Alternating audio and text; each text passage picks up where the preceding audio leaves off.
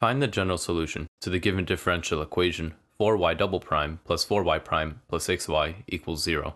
We, as always, need to create our auxiliary equation, or characteristic equation, such that r equals the amount of derivatives being taken on y.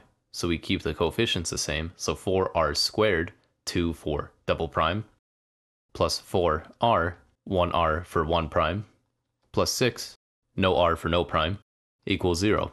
So it's not very easy to factor this, so we have to quickly go to our quadratic formula.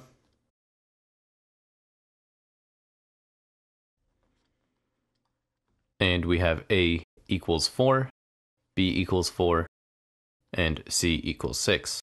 Fortunately for us, B is even, so we can take a quick shortcut to this formula where it's negative B prime plus minus square root of B prime squared minus just AC over A.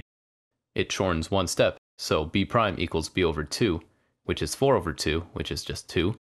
And we can plug that into the shortened formula where it's minus 2 plus minus square root of 2 squared, which is 4, minus AC, 4 times 6, over A, 4. You can plug it into the normal formula just with A, B, and C, and it'll do the same. And this equals minus 2 plus minus square root of 4 minus 24, negative 20. And we keep that 4 there.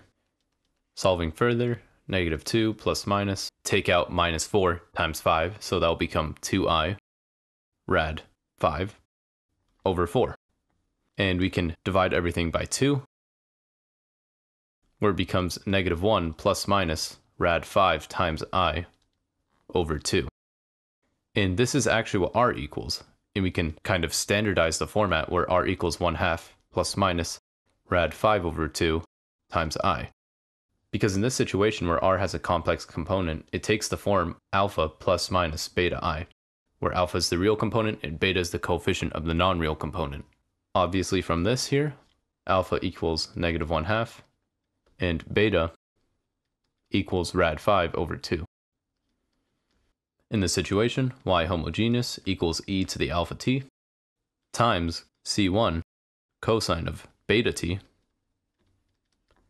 plus C2 sine of beta t. The C's allow for infinite solutions, and since we already have our alpha and beta, we can just plug those straight in. So e to the alpha t is e to the negative t over 2, or negative 1 half t, times c1 cosine of rad 5 over 2 times t, plus c2 sine of the same thing, rad 5 over 2 times t. And that's everything we need. If you have any questions, please leave them in the comments below, and good luck.